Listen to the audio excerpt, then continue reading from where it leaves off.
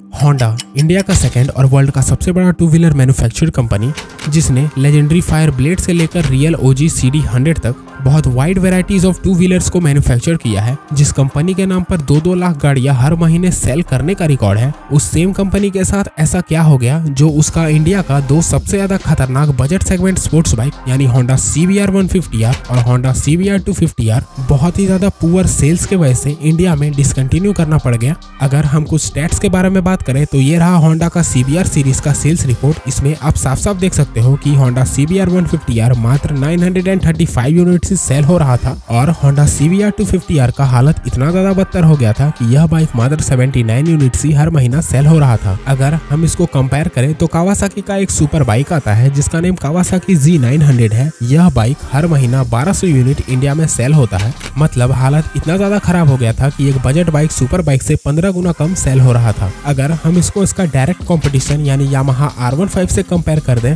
तो इसका तो भगवान ही मालिक है। अगर आपको याद होगा तो उस समय Yamaha R one five version two India में आता था, जो बाइक इस बाइक से सौ गुना से भी ज़्यादा, यानी आठ हज़ार यूनिट पर महीना सेल होता था। इस कंपैरिजन से आप ये समझ सकते हो कि यामाहा आर वन फाइव ने होंडा आर को कम्प्लीटली डिस्ट्रॉय करके रख दिया। एक्चुअली में इंडिया में बात क्या है कि इंडिया में लॉजिक से ज़्यादा इमोशंस बिकता है। हम उस देश के वासी हैं, जिस देश में गंगा तो बहती है, लेकिन यहाँ पे नाम और लोगों का गजब ही रोला कटता है। मेरा आपसे एक क्वेश्चन है। आप हमको एक बात बताओ कि जब आपका दिमाग में होंडा कंपनी का नाम आता है, तब आपके दिमाग में उसका कौन सा बाइक आता होगा? हंड्रेड परसेंट एक्टिवा ही आता होगा। अब मेरा दूसरा सवाल सुनिए। जब आपका दिमाग में यामाहा कंपनी का नाम आता है, तब आपके दिमाग में कौन सा बाइक आता है? हंड्रेड परसेंट आपका दिमाग में F C R one five और अगर आप सुपर बाइक लवर हो तो आपके दिमाग में आर वन और कुछ लेजेंड्स के दिमाग में तो वैलेंटिनो रॉसी भी आ रहे होंगे।